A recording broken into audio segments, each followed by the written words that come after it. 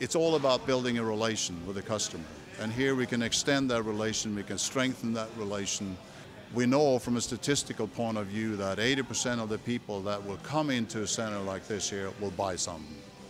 So it's a great sales tools for them. And this facility is world class, but I don't think we would expect anything else uh, from Volvo being a world class company that it is. And we're, we're proud they made the investment here over the past few years.